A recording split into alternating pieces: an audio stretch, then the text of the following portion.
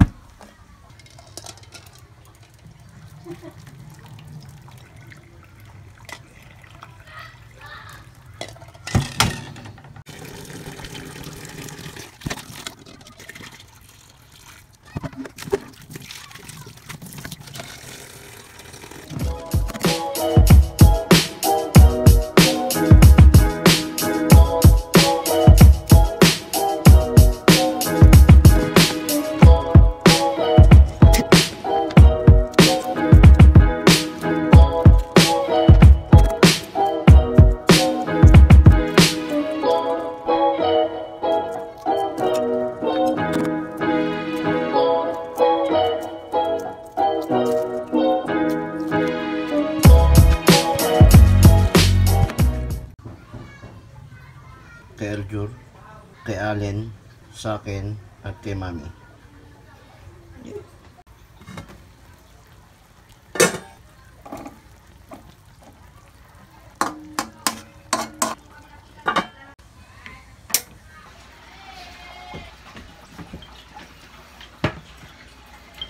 Okay ng chicken adobo.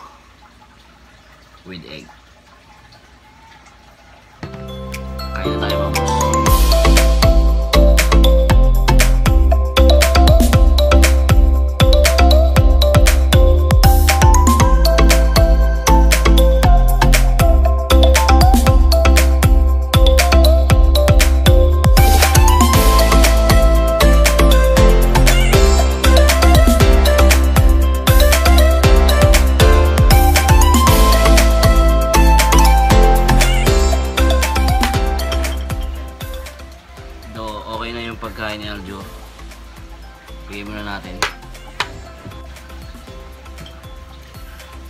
Okay na.